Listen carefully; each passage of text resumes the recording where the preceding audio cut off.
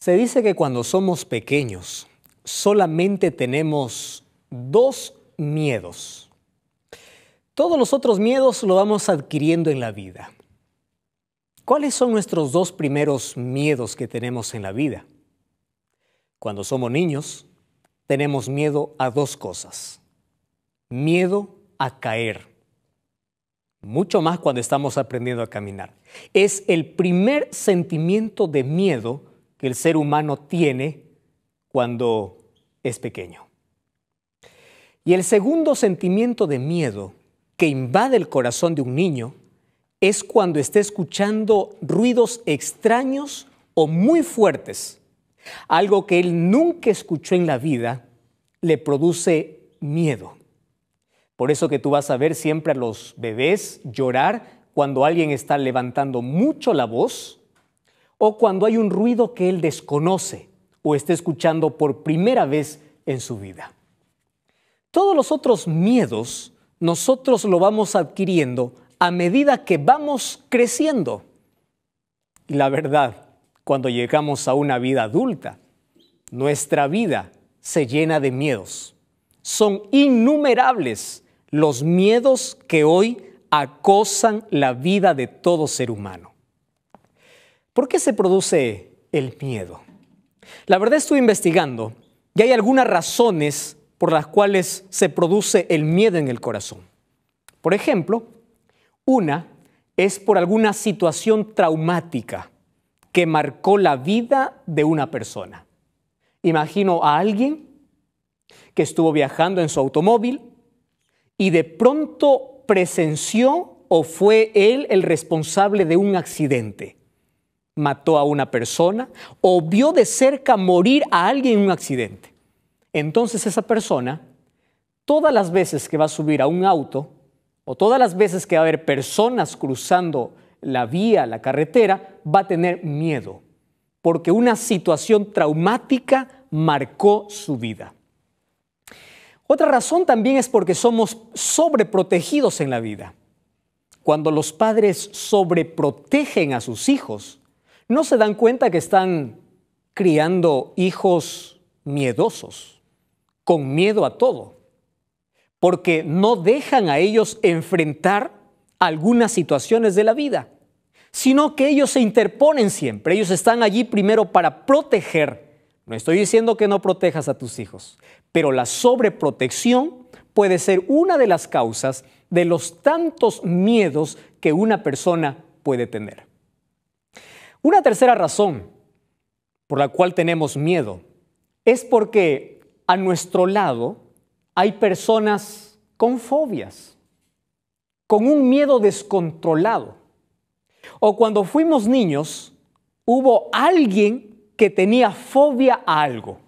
Por ejemplo, si cuando tú eres niño, a tu lado hay una persona que le asustan las arañas, esa persona adulta, cada vez que ve una araña, va a gritar y va a hacer un tremendo escándalo por una araña. Entonces el niño crece pensando, la araña es el peor animal. Entonces cuando él va creciendo y cuando ve una araña, va a gritar igual porque vivió al lado de una persona que le tenía mucho miedo a las arañas. ¿Por qué más se puede producir el miedo en nuestro corazón? Hay una razón más, y es que los seres humanos tenemos un miedo creado, es decir, un miedo inventado. Esto es curioso. Yo ya trabajé en la sierra del Perú. Y cuando estuve trabajando allí ya escuché cientos de historias, especialmente cuando llegaba la tarde cuando era la noche, allí empezaban a contar historias que eran peor que una película de terror. Que en cierto lugar aparece un ser extraño, de que hay un bulto que camina, o aquel cuento que nuestros padres se inventaron cuando no queríamos tomar la sopa y nos dijeron, si tú no comes, entonces viene el cucu, algo ficticio, algo que no existe. Un miedo basado en una historia, en una fábula, en una creencia. Muchos de nuestros miedos son creados. Y es interesante que cuando tú crees en una historia que alguien te contó, tu cerebro puede fabricar imágenes de aquello que entró ya por tus oídos. Y tú incluso puedes ver cosas extrañas que son irreales. O también el enemigo de Dios, basado en aquello que has visto o en aquellas historias ficticias que has escuchado, él también puede disfrazarse para hacerte tener miedo y para hacerte una persona que le tiene miedo a todo en la vida. ¿A qué tienes miedo tú? ¿A un ratón? ¿A una cucaracha? ¿A qué le tienes miedo? La verdad estuve investigando acerca del miedo y es un tema tan amplio, pero quedé sorprendido al descubrir la siguiente estadística. Se dice que el 50% de personas tiene miedo a morir. 50%. Cuando tú le preguntas a alguien y le dices, ¿cuál es tu peor miedo? Él siempre va a decir, tengo miedo a morir. Un 50%. Y hay un 30% que tiene miedo perder a un ser querido. Es menor que el 50, pero los dos miedos están relacionados con la muerte. Mientras que el 50 tiene miedo a morir, el 30 tiene miedo que la muerte pueda arrancarle al ser que tanto ama, ya sea un hijo, ya sea la esposa, ya sea a un ser que tanto ama con el corazón. La verdad, los seres humanos sí tenemos miedo. Y es que el miedo está tan arraigado, tan enraizado y tan relacionado con el ser humano que cuando una persona no tiene miedo, ya tiene un problema serio. Puede ser un antisocial. O cuando una persona tiene un miedo en exceso que se convierte en fobia, que luego pasa a ser pánico a algunas cosas, también necesita ayuda profesional. Y los seres humanos tenemos miedo. El miedo pareciera que está dentro de nuestro corazón miedo a fracasar, miedo a emprender algo nuevo, miedo a lo desconocido, miedo a las alturas, miedo a los aviones, miedo a los muertos, miedo a los cementerios, miedo por todo lado, miedo a hablar, miedo a expresar, miedo a enamorarse. Una persona decía, yo nunca me voy a casar. ¿Por qué? Porque tengo miedo. ¿A qué tienes miedo? He visto tantas eh, películas, tantas eh, de cosas de bodas, que siempre vi que la novia se cae allí al ingresar o en la puerta o algo sucede en la boda y por miedo a que algo suceda nunca me voy a casar. Miedos irracionales. Y el corazón del ser humano eh, se llena de miedos y miedos cada día. Y aparecen un montón de nombres extraños para identificar a cada miedo y a cada ser humano. Hay personas que no pueden dormir por miedo. Magda me escribió en estos días. Me decía, pastor, es increíble lo que le voy a contar. Cada vez que llega la noche y cierro los ojos para dormir, tengo miedo que al día siguiente yo no vaya a despertar. Y es un miedo irracional, porque yo sé que eso no va a suceder. Pero tengo miedo y tengo miedo hasta dormir, porque ahí en mi cabeza está, no vas a despertar, no vas a despertar. Y eso me persigue. Y eso hace que no pueda conciliar rápido el sueño. Y eso hace que eh, cuando amanece yo pueda ir al trabajo y pueda decir, y ahora quizá eh, siento la muerte cerca, una sensación extraña. ¿Qué puedo hacer? El miedo siento que me acosa en la vida. Ahora, ¿dónde inicia el miedo? ¿Por qué los seres humanos tenemos miedo? Mira, vamos a abrir la palabra de Dios. En el libro de Segunda de Timoteo capítulo 1, versículo 7. Dice así, porque Dios no nos ha dado espíritu de cobardía, dice aquí en mi versión. Pero hay otra versión que dice, Dios no da a sus hijos un espíritu de miedo, sino que para contrarrestar el miedo, aquí coloca algunas palabras interesantes. Tú me preguntas, ¿hay medicina para el miedo? Sí, pero no está en una farmacia. Un médico no te va a dar, la Biblia te va a dar. Y dice, Dios no colocó en ti espíritu de miedo. ¿Por qué? Porque te ha dado algunas cosas que debes tener en tu vida. Número uno, te ha dado poder. Número dos, te ha dado amor. Y número tres, te ha dado dominio propio. ¿Lo has entendido? Ahora, ¿quién es una persona que tiene miedo? Es una persona que en su corazón no tiene el poder de Dios, ni el amor de Dios, por lo tanto, no tiene dominio propio. Entonces, aquí está la medicina para el miedo. Ahora, es impresionante que el miedo del ser humano ha sido clasificado en cuatro grupos. Por ejemplo, el primer grupo de personas o el primer grupo de miedo, el primer tipo de miedo, es el miedo a perder. Todos los seres humanos tenemos miedo a perder. Perder el negocio, perder la empresa, perder la vida, perder un familiar, perder cosas, perder. La pérdida es el miedo más profundo. Hay un segundo grupo, es el miedo a fallar.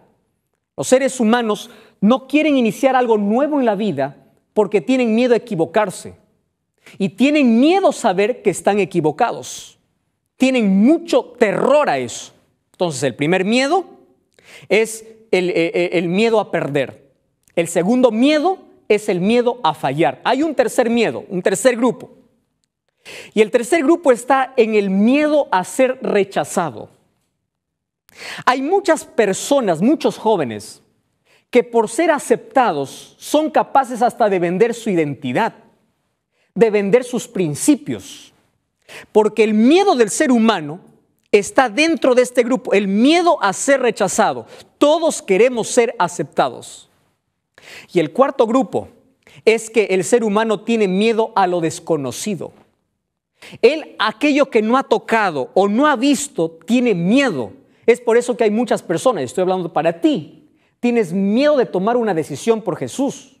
¿Por qué? ¿Por qué tienes miedo? ¿Por qué no entregas tu vida a Jesús? ¿Por qué no vas a la iglesia? ¿Por qué no te entregas a Dios? Porque hay un miedo y no sabes a qué. Ah, entonces, eso se llama miedo a lo desconocido, miedo a cambiar, miedo a ser diferente. Entonces yo te digo, nunca tengas miedo de seguir a Jesús. Ten miedo de seguir siendo la misma persona. A eso ten miedo, a seguir con tu misma rutina de vida. A eso debes tener miedo. Ahora, aquí la Biblia me enseña de que los seres humanos que tenemos a Dios, tenemos un antídoto. Es decir, no significa que no tenemos miedo, no. Significa que Dios nos da una medicina para contrarrestar el miedo. ¿Y cuándo es la primera vez que aparece el miedo en la Biblia? Para eso tenemos que ir al libro de Génesis, capítulo 3, versículo 9. Dice así. Entonces Jehová Dios llamó al hombre y le dijo, ¿dónde estás tú? Y él respondió, oí tu voz en el huerto y tuve miedo. ¿Sabes? La primera vez que aparece el miedo en la historia de la humanidad es cuando el ser humano desobedece a Dios. Entonces tiene miedo de la presencia de Dios. Entonces podemos resumir aquí el miedo de la siguiente manera. Miedo es vivir separado de Dios. Es el resultado de desobedecer a Dios. Entonces, como todos somos pecadores, como todos damos la espalda a Dios, como todos los seres humanos en cierta medida somos rebeldes contra Dios, tenemos miedo en el corazón. Miedo es distanciamiento de Dios, separación de Dios. Porque una persona que tiene a Dios en el corazón no tiene miedo, porque tiene poder, tiene amor y tiene dominio propio. Eso es lo que dice la palabra de Dios. Entonces, ¿qué es miedo? En dos palabras resumiendo. Miedo es la ausencia de confianza. Es cuando tú depositas tu confianza en algo que no te da seguridad. Eso es miedo. Entonces, si tú depositas tu confianza en ti, tú no estás seguro de ti mismo. Falta de confianza y falta de seguridad. Es por eso que en la Biblia hay promesas de Dios para ti. Confía, cree. Entonces cuando yo te digo, ten fe en Dios, lo que te estoy diciendo es, rompe tus miedos. Atrévete a dar el primer paso. Atrévete a agarrarte de Jesús. Lo que te estoy diciendo es, quita el miedo de tu corazón, porque el Señor quiere poner en ti un espíritu de poder. Ahora, ¿qué tienes que hacer para vencer el miedo? Dos cosas. Número uno, identifica cuáles son tus miedos. Porque cuando tú identificas cuáles son tus miedos, entonces allí tenemos que trabajar. Si tú me dices, pastor, yo tengo miedo perder el trabajo, quiere decir que tu confianza está puesta en el trabajo y no en Dios. Y cuando pierdas el trabajo, vas a tener mucho miedo. Si tú dices, tengo miedo a la muerte, quiere decir que tu confianza está incierta, insegura, no está puesta en Dios. Entonces, entrega tus miedos a Dios. Salmo 56, 3 dice así, el día que yo tengo miedo, yo en ti confío. Qué maravillosa promesa. Una vez que tú identificas tus miedos, en segundo lugar tú tienes que entregar tus miedos a Dios. Tú tienes que decirle, Señor, este es mi punto flaco, a esto lo tengo miedo. Así que dame tu poder, dame tu amor. ¿Y por qué tienes que pedir el amor de Dios? Porque el amor de Dios te llena de seguridad. El amor de Dios te da confianza. El amor de Dios hace que tú puedas pasar por un cementerio, por un túnel, por el lado más oscuro de la vida y no puedas tener miedo. ¿Por qué? Porque su amor es suficiente para decir, yo estoy seguro en las manos de Dios y Dios me acompaña. Es por eso que Isaías 41:10 dice, no temas, porque yo estoy contigo. Yo estoy contigo, yo estoy a tu lado. ¿A qué le tienes miedo? Deja tu miedo, entrégame tu miedo. A cambio de tu miedo, yo te voy a dar espíritu de poder, de amor, porque el verdadero amor echa fuera el temor.